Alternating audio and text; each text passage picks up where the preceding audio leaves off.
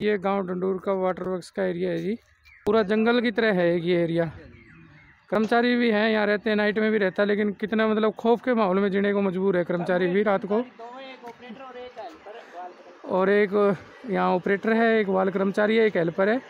तीन आदमी यहाँ रहते हैं जी। और ये देख सकते हैं, सिर्फ़ ये इतने एरिया में ही सफ़ाई है। ये इतना एरिया साफ़ है और बाकी आप देख सकते हैं कितना मतलब पूरा जंगल है ये किसाना है पानी कम ठावा है इसलिए पानी किसी भी जगह नहीं पहुँच रहा। उनको बता देता हूँ जो काम इलेक्ट्रीशियन और बड़े बड़े जो इलेक्ट्रीशियन हैं यहाँ जो फीटर है उनको सबको पता है। सबको पता है। मैं तो तो कोई कभी आपने लिखित में दिया है अधिकारी को? मैंने- मैंने लिखित में नहीं दिया। तो आपका फ़र्ज़ बनता है।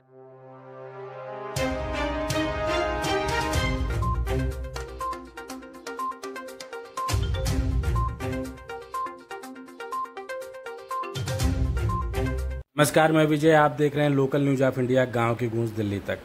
इस समय हिसार के आदमपुर के टडूर बीर ग्राम पंचायत की पानी के किल्लत की गूंज दिल्ली तक आ चुकी है। जी हाँ, हम बात कर रहे हैं अपने साथी राम प्रकाश के द्वारा भेजे गए इस वाटर वर्स की मौजूदा हालत पर। यह हालात यहाँ के कर्मचारियों के अनदेखेपन के कारण, पंचायती राज के सरपंच के अपने परायों की नीति के कारण शायद हुआ पड़ा है। भजन लाल ने जब यहाँ पीने के पानी की व्यवस्था की थी और पाँच साल पहले जब यहाँ पर एक बूस्टर लगाकर कांग्रेस के समय में व्यवस्था की गई थी, तब शायद सपने में नहीं सोचा होगा कि यह कुछ लोगों को पानी एक एक दिन बाद मिला करेगा। और कुछ लोग पानी की एक एक बूंद के लिए तरस जाएँगे। आप देख सकते हैं कि भारी भरकम एरिया में फैला हुआ यह पूरा का पूरा वाटर वर्क्स का एरिया एक खतरनाक जंगल में तब्दील हो गया है। ना तो यहाँ कोई सफ़ाई है और ना किसी सफ़ाई कर्मी की इसकी आवश्यकता लग रही है को इसको साफ़ सुथरा कर दे। यहाँ पर पड़ी हुई सारी मोटर मशीनें जिससे पानी निकाला जा सके सबकी जर्जर हालात है।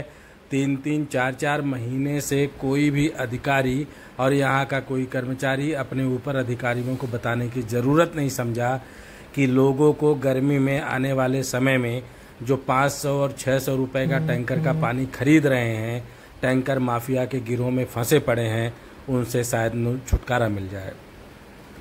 इस पूरे के पूरे डीएलएफ फॉर्म के पास बने हुए इस वाटर वर्क्स का मकसद ही था इस ग्राम पंचायत के लोगों को पीने का पानी मुहैया कराना। लेकिन अभी जो हालात लग रहे हैं, उससे अंदाज़ा आप लगा सकते हैं कि यह पीने का पानी तो छोड़ दीजिए। इन अधिकारियों, ये जो कर्मचारी हैं, जो काम करने वाले लोग हैं, ये अपने से ऊपर किसी अधिकारी को यहाँ की दिक्कत ही नहीं बता सकते हैं। एक मोटर काम कर रही है और वो मोटर भी पानी अपने हिसाब से देती है। एक घंटे डेढ़ घंटे जिससे कुछ लोगों का ही भला होता है। और कुछ लोग तो सरपंच के निशाने पर इसलिए हैं क्योंकि या तो उन्होंने वोट नहीं दिया होगा या उनके विपक्ष वाली भूमिका में होंगे। क्या सरपंच और पंचायतों का इस तरीके से चुना गया प्रतिनिधि उनके लिए काम करता है जिन्होंने उनको वोट दिया है। तो यह लानत की बात है। और हम जिस विकास की बात करते हैं खट्टर साहब जिस विकास के एजेंडे को लेकर आगे बढ़ना चाहते हैं उसमें यह ग्राम पंचायत की पानी की किल्लत और इसका मौजूदा हालात ज़ाहिर सी बात है बड़ा तो खतरनाक साबित होगा। आप खुद ही देख सकते हैं कि कर्मचारी ने एक बार भी लिखित शिकायत नहीं की है। है अपने अधिकारियों को इसके बारे में बताने की ज़रूरत नहीं समझ रहा है। और कितने लापरवाही से या कहें बेपरवाह तरीके से अपनी बात को सही साबित कराने पर लगा हुआ है। खुद ही देखिए अंदाज़ा लगाइए कि क्या इस जनता को पीने के पानी का तो हक है। या नहीं है? और अगर यह व्यवस्था सही हो जाए तो इससे कितने लोगों का फ़ायदा तो होगा? आपने किसी अधिकारी को नहीं बताया? अधिकारी को मेरी अभी ट्रांसफ़र हुई है यहाँ। पहले वाला भी रह के कितना टाइम हो गया आपको यहाँ? मैंने दो चार महीने हुए हैं। तो चार महीने तो बहुत हो गए अंकल जी।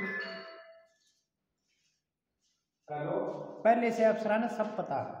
नहीं पता तो होगा मान ली बात आपकी लेकिन ऐसी कोई बात नहीं। तो चार महीने हो गए तो चार महीने तो आपने भी तो चार महीने से मैंने मेरा उसने गाटर पिन भगा दी अब दो चार दिन में मैंने गाटर पिन डलवाई रात फिर भगा दी। चार महीने से आप एक ही मोटर पे काम करते रहे तो आपने इस मोटर के बारे में बताना था ना किसी अधिकारी को? या एसडीओ साहब को बताते हैं जई साहब को बताते हैं आप? भी ये दिक्कत है जी मेरे पास में आप मेरा सोल्यूशन निकालो एसडीओ साहब से हम मिल के आए हैं। बहुत बढ़िया अधिकारी आप उनको अवगत नहीं कराते।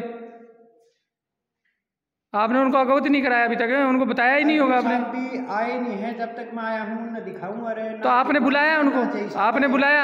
हम आपकी बात किस तरह माना? आने के बाद में ही शमशेर ने बुलाया भी है और शमशेर के सामने आए भी हैं। हम बुलाया हम गए थे। साहब आए भी हैं आरटीओ साहब ये भी कह के थे मैं वहाँ भी आऊँगा। हाँ। तो लेकिन यहाँ आरटीओ साहब नहीं आए फिर समय नहीं लगा होगा।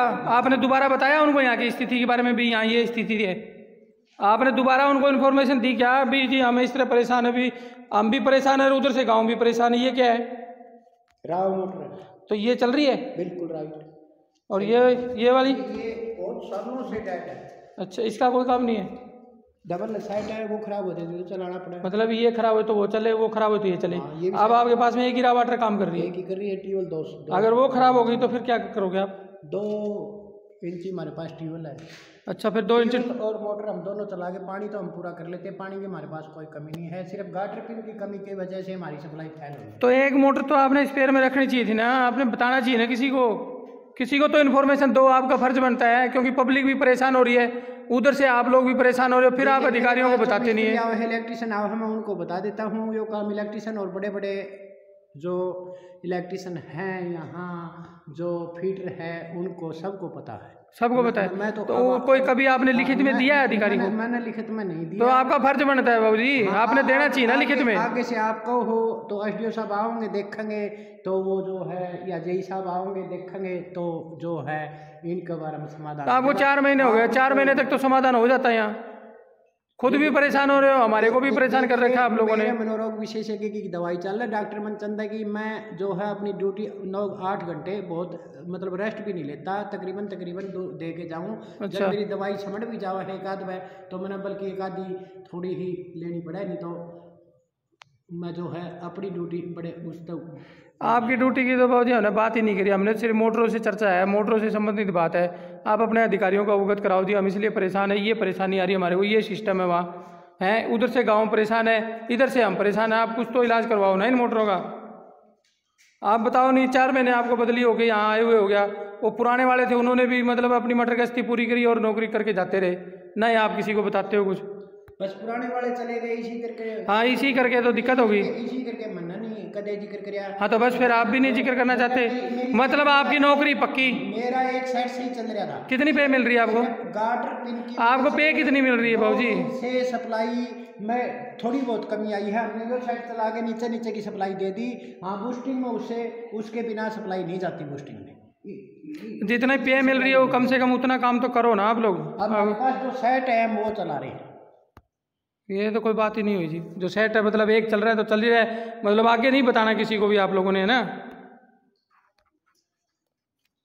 बताने से आप साहब का जई साहब का भी नंबर है। आप नंबर से बात। आपने बताया हमारे बताने पे तो काम हुआ है। देखना और बताना बड़ी दूसरी बात वो है। लिखित में दो ना आप लोग उनको अधिकारियों को लिखित में दीजिए आप। अगर वो बोलेंगे भाई लिखित में दे मैं लिखित में भी दे हाँ तो लिखित में देना पड़ेगा जी तब तो, हमने तो देख हमारे अफसर है हमने तो उनसे डर लगा है हम लिखित में दे डर वाली क्या बात है? अधिकारी क्या आपको को क्या कर हैं? को खा थोड़ा ना जाएँगे आप लोगों को। हम जो है अपनी ड्यूटी बड़े उससे निभा रहे हैं ऐसी कोई बात नहीं। कृष्ण है मेरे पास मैं हूँ रात का ड्यूटी बस इतनी निभा रहे हो अभी एक मोटर चल रही है चलती रहे बस। बाकी कोई जिए कोई मरे कोई मतलब नहीं है। मतलब तो यही हुआ। आप तो मतलब यही कह रहे हो बार बार घुमा के भी मैं अपनी ड्यूटी निभा रहा हूँ। ड्यूटी किस चीज़ की निभा रहे हो आप? ये तो बताओ ना। भी इस चीज़ की निभा रहा हूँ मैं। अभी कहाँ पे हो? चार आदमी आप यहाँ कोई काम नहीं है आप लोगों के पास सिवाय बैठने के।